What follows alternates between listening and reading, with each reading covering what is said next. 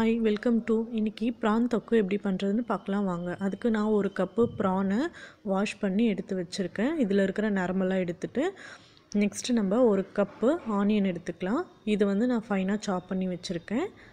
Next நம்ம தக்காளி ஒரு கப் எடுத்துக்கலாம். இதுவும் அதே மாதிரி கட் பண்ணி வச்சுருக்கேன். அப்புறம் ரெண்டு டேபிள் ஸ்பூன் இஞ்சி பூண்டு பேஸ்ட்டு அப்புறம் மூணு சில்லி ஒரு பட்டை ஒரு லவங்கம். இது எடுத்துக்கலாம். அப்புறம் நாலு டேபிள் ஸ்பூனு ஆயில் எடுத்துக்கலாம். பேன் சூடா சூடானதுக்கப்புறமா நீங்கள் ஆயில் ஊற்றுங்க அப்போ தான் வந்து நல்லா ஃப்ரை பண்ணால் நல்லாயிருக்கும். ஆயில் ஊற்றுனதுக்கப்புறம் இந்த மாதிரி பபுள்ஸ் வரும். இந்த மாதிரி பபுள்ஸ் வந்ததுக்கப்புறம் நம்ம எடுத்து வச்சுருந்த சில்லி பட்டை லவங்கம் இது எல்லாத்தையும் ஆட் பண்ணிக்கலாம். ஆட் பண்ணி லேசாக வதக்கிக்கலாம். நல்லா வதக்கினதுக்கப்புறமா நம்ம சாப் பண்ணி வச்சுருந்த ஆனியனை ஆட் பண்ணிக்கலாம். நான் ஒரு கப்பு ஆட் பண்ணியிருக்கேன் ஏன்னா எனக்கு செமி கிரேவியாக வேணும். அதனால நான் நாலு ஆனியனை சாப் பண்ணி ஒரு கப் அளவு எடுத்திருக்கேன். உங்களுக்கு எவ்வளோ வேணுமோ அந்த அளவுக்கு நீங்கள் எடுத்துக்கோங்க. இது நல்லா ப்ரௌனிஷாக வரணும். அது வரைக்கும் நம்ம ஃப்ரை பண்ணிக்கலாம். கொஞ்சம் ஃப்ரை பண்ணதுக்கப்புறமா நம்ம கேப் போட்டு மூடி வைக்கலாம். அப்போ தான் வந்து ஆனியன் சீக்கிரமாக பாயில் ஆகும். பாருங்கள் இந்த மாதிரி கேப் போட்டு க்ளோஸ் பண்ணிடலாம். ஓப்பன் பண்ணி பார்க்கலாம். ஓரளவுக்கு வெந்திருக்கு. நமக்கு இன்னும் கொஞ்சம் ஆனியன் வேகணும். அதனால் திரும்பவும் ஒரு நிமிஷம் நம்ம கேப் போட்டு மூடி வைக்கலாம். மூடி. இப்போ பார்க்கலாம். இப்போது ஆனியன் ரெடியாக இருக்குது இப்போ நம்ம இதில் இஞ்சி பூண்டு பேஸ்ட்டை ஆட் பண்ணிக்கலாம். அதுக்கு முன்னாடி கொஞ்சம் ரெண்டு நிமிஷம் வதக்கிக்கலாம். இப்போ ஆட் பண்ணிவிட்டு இதுவும் நல்லா வந்து ஃப்ரை பண்ணிக்கலாம். அந்த பச்சை வாசனை போகிற அளவுக்கு நம்ம வந்து ஃப்ரை பண்ணிக்கலாம்.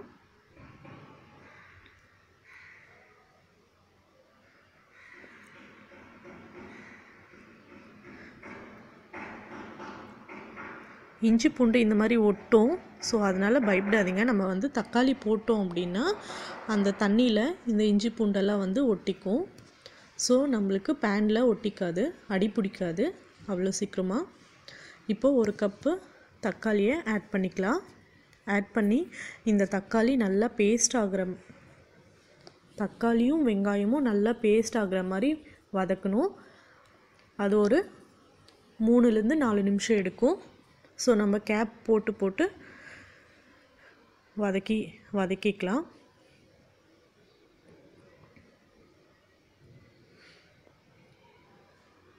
இப்போ மூடி போட்டு மூடிடலாம். இதை ஒரு நிமிஷம் விடுவோம். விட்டதுக்கப்புறம் இப்படி இருக்கும். எடுத்து திருப்பியும் கேப்பை ஓப்பன் பண்ணி இது மாதிரி கலந்து விட்டுக்கலாம். நான் த்ரீ டைம்ஸ் இது மாதிரி வந்து கேப் மூடி மூடி தக்காளியை வதக்கி எடுத்துக்கிட்டேன். இப்போ நான் மூணு tablespoon chilli powder add பண்ணி ஏன்னா ப்ரான் வந்து கொஞ்சம் ஸ்வீட்னஸாக இருக்கும். ஸோ எனக்கு அது பிடிக்காது. அதனால் வந்து நான் கொஞ்சம் காரம் அதிகமாக போடுறேன். அப்புறம் ரெண்டு டேபிள் ஸ்பூன் சால்ட்டு ஆட் பண்ணிக்கலாம். நான் கல்லுப்பு ஆட் பண்ணிக்கிறேன். உங்ககிட்ட எதுவும் இருக்கோ அதை ஆட் பண்ணிக்கோங்க. இந்த மாதிரி தக்காளி வந்து நல்லா பேஸ்ட்டாக ஆகிற வரலும் நீங்கள் ஃப்ரை பண்ணிக்கோங்க.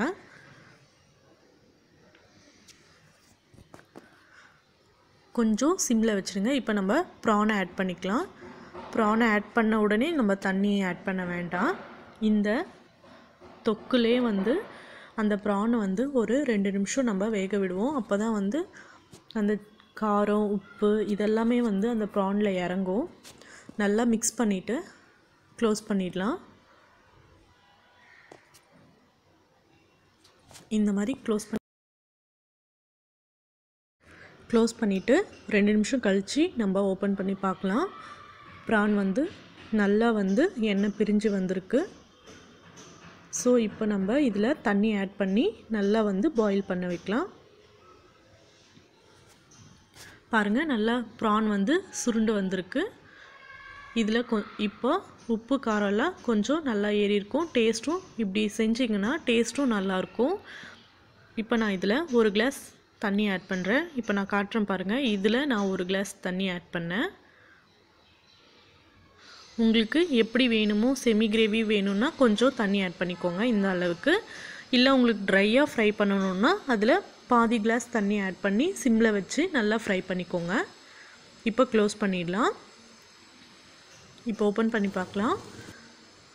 நல்லா பாருங்கள் நல்லா வந்து கொதிச்சிட்ருக்கு. இப்போ நல்லா கலந்து விடலாம்.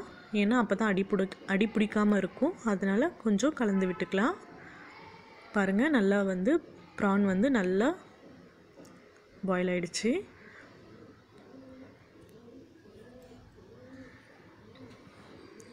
ஸோ எனக்கு செமி கிரேவியாக வேணும். அதனால் இந்த அளவுக்கு எனக்கு போதும். ஸோ இப்போ நான் பெப்பர் ஆட் பண்ணிக்கிறேன். நான் two tablespoon pepper add பண்ணிக்கிறேன். ஏன்னா எனக்கு கொஞ்சம் காரமாக இருந்தால் ரொம்ப பிடிக்கும். அதனால நான் டூ டேபிள் ஸ்பூன் ஆட் பண்ணிக்கிறேன். நீங்கள் வந்து உங்கள் காரத்துக்கு தகுந்த மாதிரி பெப்பர் ஆட் பண்ணிக்கோங்க. ஆட் பண்ணிவிட்டு நான் ஸ்டவ் ஆஃப் பண்ணிட்டேன். ஆஃப் பண்ணிவிட்டு கொத்தமல்லி தலை ஆட் பண்ணி நல்லா மிக்ஸ் பண்ணிக்கலாம். இப்போ நம்ம ப்ரான் தொக்கு ரெடி இப்போ நம்ம சர்வ் பண்ணிடலாம். பாருங்கள் ப்ரான் எவ்வளோ அழகாக பெருஸ் பெரிய பெரிய பீஸாக எவ்வளோ சூப்பராக இருக்குது ஆக்சுவலாக இது வந்து டைகர் ப்ரான் சொன்னாங்க எங்கள் ஹஸ்பண்ட் அதுதான் இவ்வளோ பெருசு பெருசாக இருக்குது ஒரு பீஸு சாப்பிட்டாலே வந்து நம்ம ஃபுல்லாக சாப்பிட்ட மாதிரி ஒரு ஃபீல் ஆகுது.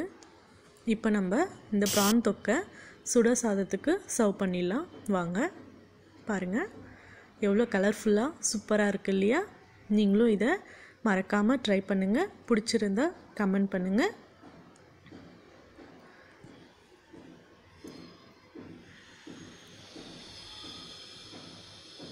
இந்த ப்ரான் தொக்கு சாதத்தோடு மட்டும் இல்லை இட்லி தோசை சப்பாத்தி எல்லாத்துக்கும் வந்து இது சூப்பராக இருக்கும். பாருங்கள் நீங்களும் இதை ட்ரை பண்ணுங்கள்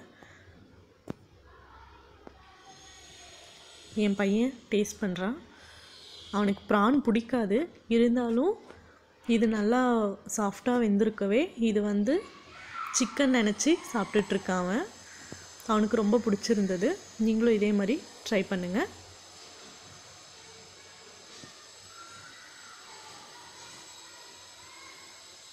இப்போ வாங்க ப்ரான் எந்த அளவுக்கு வெந்திருக்குன்னு பார்க்கலாம். எவ்வளோ சாஃப்டாக பாருங்கள் நான் ஒரு கையாலே ப்ரெஸ் பண்ணுறேன் எந்த அளவுக்கு